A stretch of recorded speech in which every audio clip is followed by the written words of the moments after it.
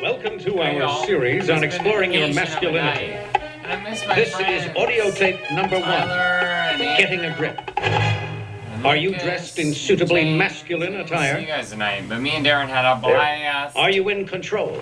Yes. Yes. Are you ready to take charge? Yes. Yes. Are you a man? Yes. Yes. Stand up. Stand straight and tall. Excuse me, are we a little teapot? Untuck your shirt. Just one side. Oh. You hate this, don't you? Oh, look at it. You want to be neat. You want to be tidy. Yes. Adjust yourself. Not there. The package, sissy man. The family jewels. Mm. Mm-mm. Grab 'em. Mm. You're in a bar room. Okay. Repeat after me.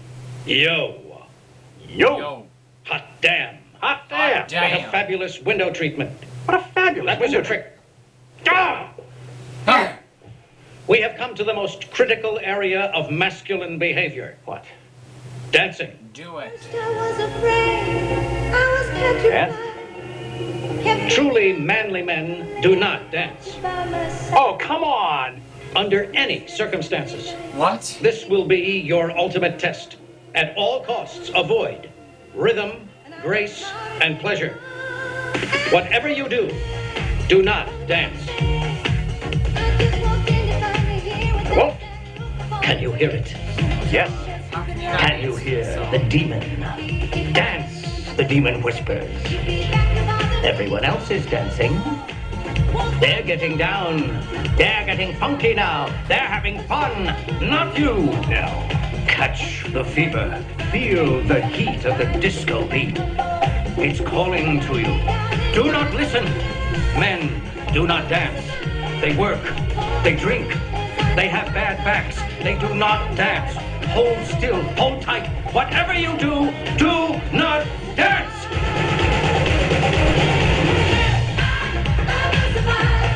What are you My neighbor's doing? gonna hate me. It's 2.30. Stop dancing, you big ballerina!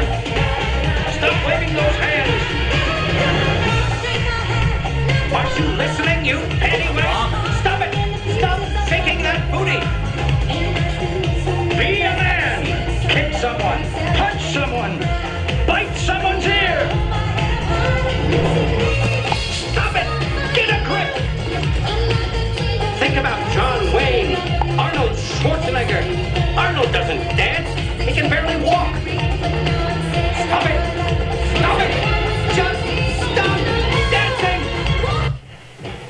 So, how did you do, pussy boy? Oh. oh my god. What a mess.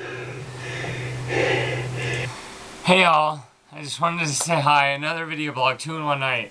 Um, I had a good week. I went to a conference, Get Motivated. It was a little churchy. The, um, Colin Powell was there. And Rudy Giuliani was there. And John Walsh. And Lou. Lou, Lou Holtz, coach. He was really good actually. And Joe Montana. I have um chips in my teeth, don't I? Oh my god, and Zig Ziglar. Oh my god, Zig Ziglar. He's like a hundred years old and he has a memory lapse. Mess. I felt bad for him. His daughter was there basically interpreting. Oh my god. But I love you all. I say that all the time. This was like a Republican festival. Republican! Like Pelican, but they actually peck your eyes out more and harder and tougher. Loved you.